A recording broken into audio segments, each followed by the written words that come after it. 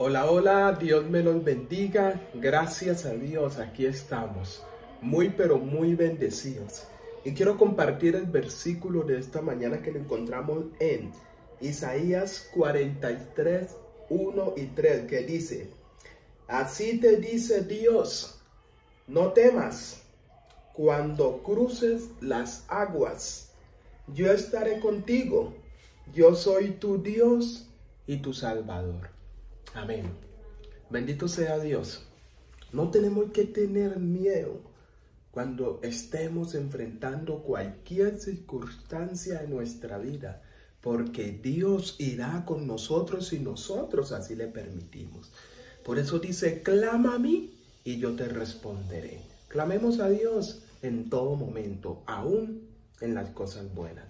No solamente cuando estemos pasando por dificultades, sino constantemente oremos y demos gracias a Dios. Oremos en esta mañana. Bendito Padre, gracias porque tú eres bueno, tú eres misericordioso. Estamos aquí orando por estos jóvenes, niños y adultos. Ayúdanos a ser cada día mejores. Llénanos de tu amor, de tu Espíritu Santo. Gracias por el día, gracias por la vida, gracias Señor, porque tú estás en nosotros. Ayúdanos siempre a prepararnos para tu pronto regreso. Que podamos entender que tu palabra tiene la verdad y que es la herramienta que nos ayuda para que podamos enfrentar cualquier dificultad de la vida. Gracias por todo, Jesús. Sánanos, bendícenos, protéjanos, llénanos de tu Espíritu Santo y que tus ángeles nos cuiden siempre. Lo pedimos en Jesús. Amén. Amén.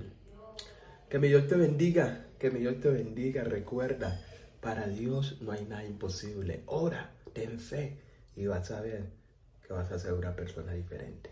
Qué bendición. Chao, chao. Te quiero mucho.